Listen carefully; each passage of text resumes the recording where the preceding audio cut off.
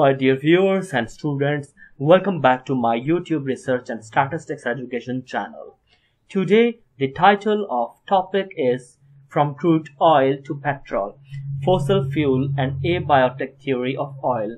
This is from Oil and Gas Economics series and I will cover crude oil, origination theories, oil reservoirs and oil refining process. No one knows how crude oil was formed deep beneath the Earth's underground pockets called reservoirs. There are two prominent theories dealing with formation of crude oil. Number one, fossil fuel theory and number two, abiotic theory.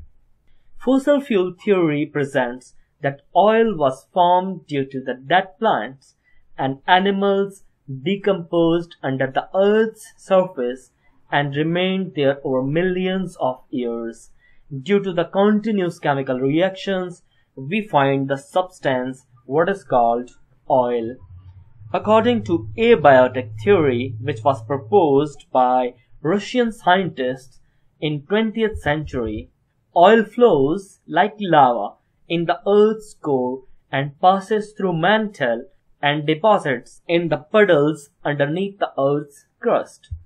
Crude oil can be found in all continents and oceans. Currently, according to the explored oil reserves, Venezuela possesses the most oil and gas reserves amounting 303.47 billion barrels.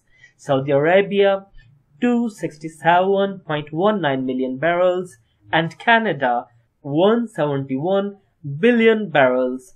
Middle Eastern nations have a sizable quantity of oil reserves which include Iraq, Iran, Kuwait, and United Arab Emirates.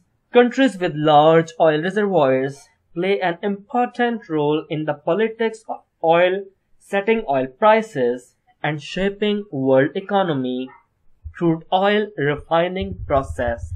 First the oil is extracted from the earth using oil extraction machines Governments purchase the oil and send it to facility called refinery.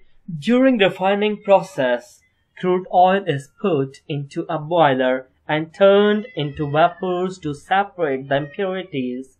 The vapors move to a distillation chamber which turns the vapors back into a liquid.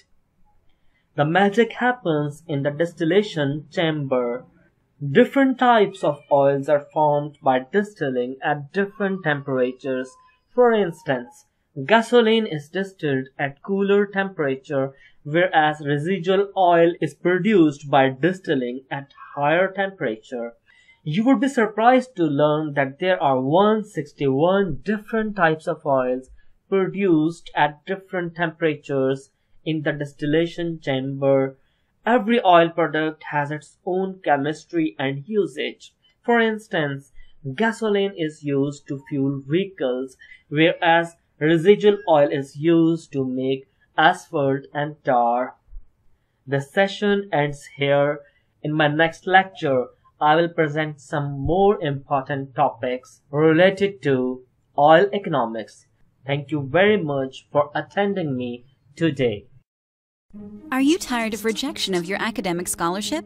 Submit your research to International Journal of Management, Economics and Social Sciences. With us, you will experience a reputable publishing platform that will guarantee high quality peer review. Our unique mentorship program enables you to develop your research to increase the chances of publication. Our editors are eminent researchers who will provide the much needed impetus for your academic works. Visit www.ijmess.com and get your work published.